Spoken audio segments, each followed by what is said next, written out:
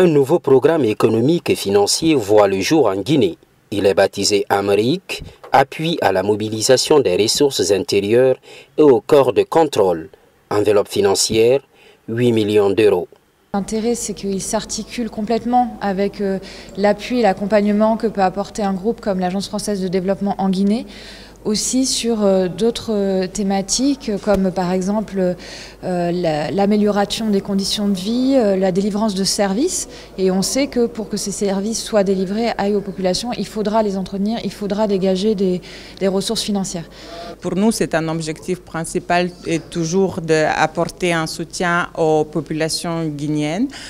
donc voilà, c'est pour ça que la gestion de finances publiques saines a et un grand apport dans ce sens. Le programme Amérique entrevoit plus de transparence dans la mobilisation des ressources et la gestion des finances publiques. Dans ce programme, on va descendre à une échelle plus basse puisqu'on va travailler aussi avec les collectivités locales euh, qui sont aussi un échelon important de mobilisation des ressources et aussi on va travailler avec les, les, les OSC, les organisations de la société civile qui jouent un rôle clé dans aussi le contrôle, le suivi euh, de ce sujet-là. Cet idéal repose sur quatre composantes qui auront un fort impact sur les départements sectoriels de l'économie. L'idée est de pouvoir appuyer les régies financières qui travaillent pour la mobilisation des ressources, notamment les impôts, la douane et le trésor, pour améliorer leur performance en matière de mobilisation des ressources. Mais également appuyer les corps de contrôle, parce qu'il ne sert à rien de mobiliser de l'argent de développement qui ne sert pas au développement.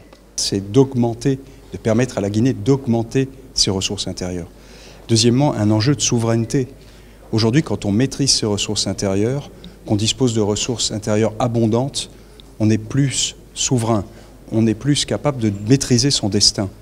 Le programme d'appui à la mobilisation des ressources intérieures et au corps de contrôle est financé par l'AFD et l'Union européenne. La mise en œuvre est assurée par Expertise France jusqu'en 2027.